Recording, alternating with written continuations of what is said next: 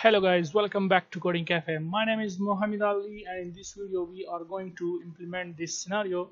So first of all uh, we will learn also new controllers that is the month calendar and the numeric up down okay?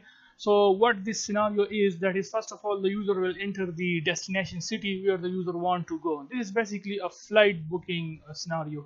So let's say I'm going to I'm uh, I want to go to California let's say and then uh, from where I want to go so let's say from Paris. And then the user will select the flight uh, dates. That is during which dates he wants to go. So here you can simply select many uh, dates you want but the limit will be 100 uh, dates days. Okay? That is within 100 days you have to select the uh, range uh, or you can say the flight date for your uh, when you want to go to Calif from California to Paris.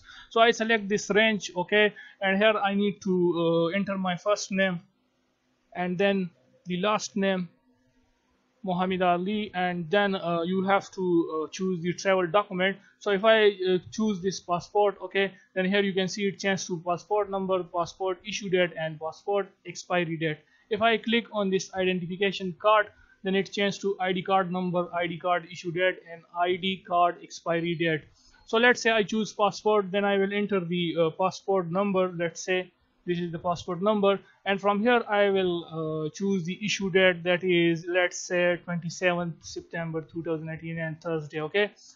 So once i select the issue date this is obvious that the issue date must be smaller than the expiry date so once as you can see here we select 27th okay? So if I uh, choose I mean if I here now set the expiry date then here you can see that it starts from 27 and the previous dates are invisible okay? You can't uh, just select the previous date because the issue date must be uh, smaller than the uh, expiry date. You can see this. So I'm going to choose 30th September okay? And from here you can uh, give any baggage you want. That is the weight okay?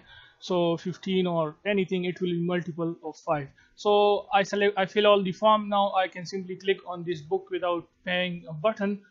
So if I click here so here you can see that it shows the booking summary. And here we go. I mean this is all the information. Here you can see flight has been booked for you and congratulations. I mean just a display message. And then the full name this is uh, this was my first I mean this is my first name which I wrote there uh, previously in the first form uh, and this is the last name Muhammad Ali and I display it here together okay? Then the departure city Paris California and trip dates from 26 September to 6 October. Passport number expiry date and the uh, estimated weight of baggage. So yeah this uh, this is all about I mean and then if I click on done then it will close the application. So let's create a new project. C sharp visual C sharp Windows form app and let's give it a name as flight booking app. And then press OK. So you can see that our new project is created successfully. Now let's design our first form. So from the toolbox we need to add a label here quickly. So drag and drop label here and let's name this as uh, the text for this will be true and let's give it some designing. So it should be bold and 12 now we need to add a text box. So drag and drop a text box here. And now let's copy paste this for the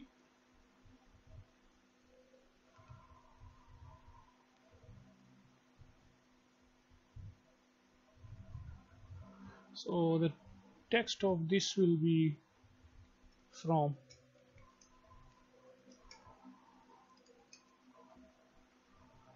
now we need to add a month calendar here so let's do that.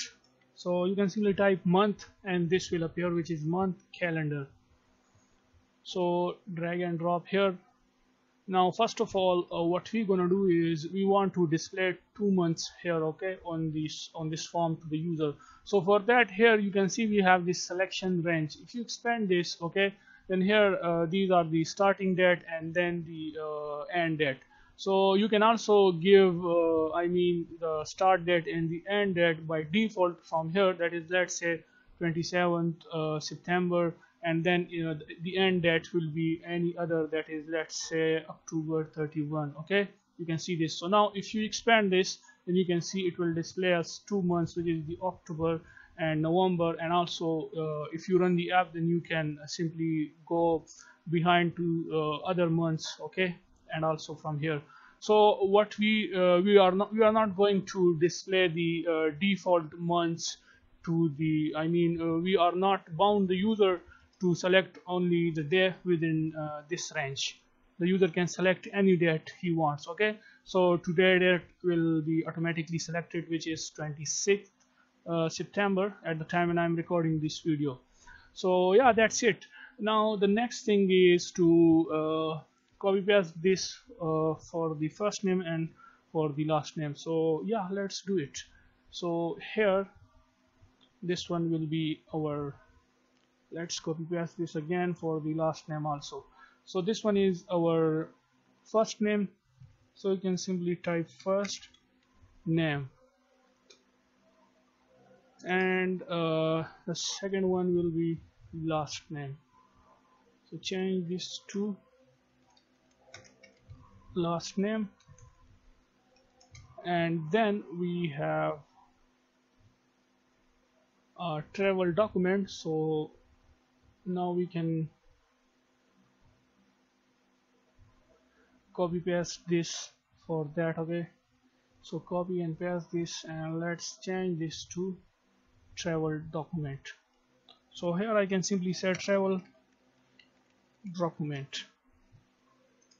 And here we will add two radio buttons for the passport and ID card. So first we need a group box for that just to make the design little bit beautiful. So remove this text from the for, for the group box. Okay and now here we can add two radio buttons for inside this group box.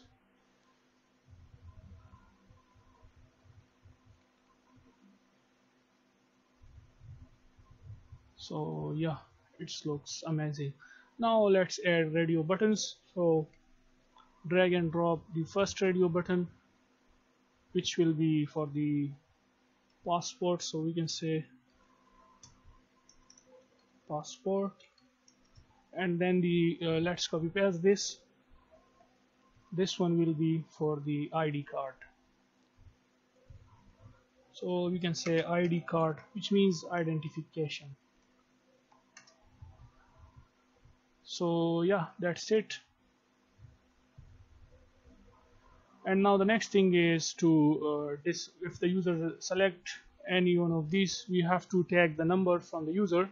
So let's copy paste this and it will be now the document number. So we can simply say document number. And we need a text box here. So yeah that's it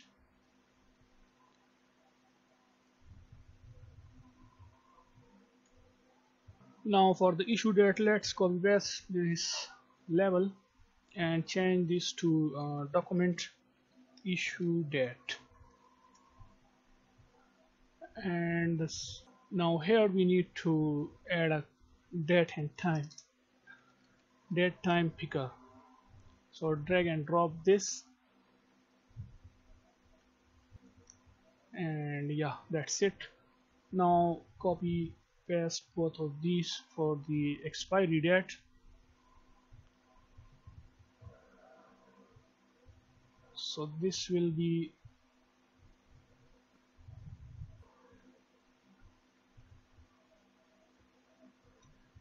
say expiry.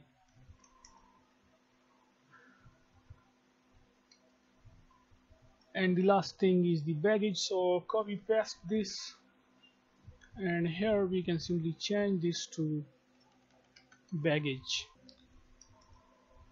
And we need a numeric up down. So you can simply type here numeric and this will appear numeric up down. Drag and drop this here. And the next thing is copy paste this and here we can simply say kilogram.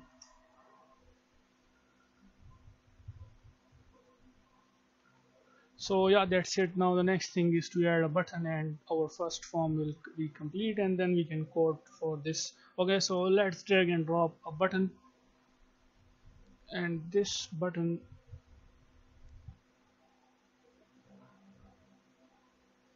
should be like that. So the book without paying.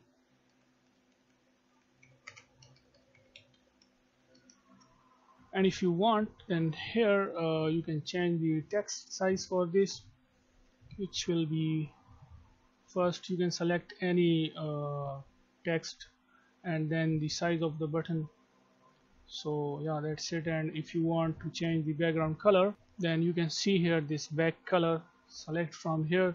From the system you can select any color you want and also from here okay? So I will choose uh, this dark salmon. So let's give a name to our these uh, all of these controllers. So for the button I can simply give it a name as btn book and for the baggage I can simply call it as it will have this same name which is numeric up down okay? And this is our date time picker 1 date time picker 2 and then for the for the passport we can simply say RDB which means radio button passport. And for the ID card I can simply say RDB ID card. And then for the document number we can give it as txt which means text box and let's give it a name as document number. Then we have first name so for that I can simply say txt first name and for the last name we can say txt last name 2 and here we can say txt2 txt from. And the name of our this month calendar will be month, month calendar 1 so what we want first is that uh, we will implement all of these but first let's work on this. If a user select passport then it should change this text to passport number passport issue date and passport expiry date and the same for the id card so double click on this passport radio button and it will create a event handler for us. And here we can first check if rdb passport dot checked. So if this is true that it means that this button is clicked this radio button so then what we are going to do is uh, to change the text of this document number. So for that let's give it some proper label to uh, name to it. So we can say lbl doc number. And for the issue date we can say lbl issue date. And for the expiry we can simply say lbl expiry that. So yeah that's it. Now come here and here we can just access that which is lbl doc number dot text. We have to change the text for that. So it will be passport number. And then we have to change it for the other two. So let's copy paste this just for the time saving. So the other one is lbl uh, issue date and change this to passport issue date. And this one to passport uh, LBL expiry date and it will be passport expiry date. And since uh, we will display all these information on our second form which we will create in the next tutorial. So for that I'm going to create here a public static variables. So I can say public static boolean since you know that uh, the data type for the uh, radio button is boolean. So the first one will be passport and the second one is our ID card number. Or we can just give it an name as ID card. So we have to give assign some value to this passport variable which we just create and it will be true. And the same we will do for the ID card. So double click on this radio button and here you can simply copy this from here and paste that here and change this RDB password to RDB ID card. And this here we can simply write ID card number and replace this password with that. So ID card expiry date and it should here we need to uh, say I mean the uh, variable which we create which is by the name ID card okay? So we have to assign value to it. That will be true. So yeah that's it. Now let's the app so the app is running now successfully and now if I click on passport then you can see passport number passport issue date passport expiry date. If I click ID card ID card number ID card issue date ID card expiry date. So yeah that's it for this video. And in the next video we will get all these values from the user okay? The months and the issue date and expiry date and this baggage. And we will create another form where we will display all these data and that form will be our summary. So yeah take care of yourself and bye for now